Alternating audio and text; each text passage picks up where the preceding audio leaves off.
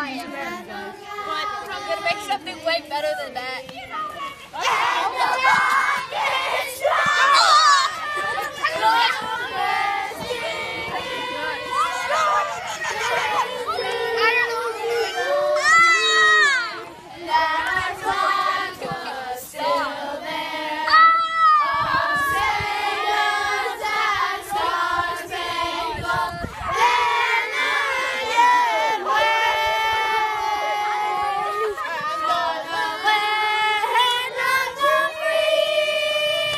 Yeah.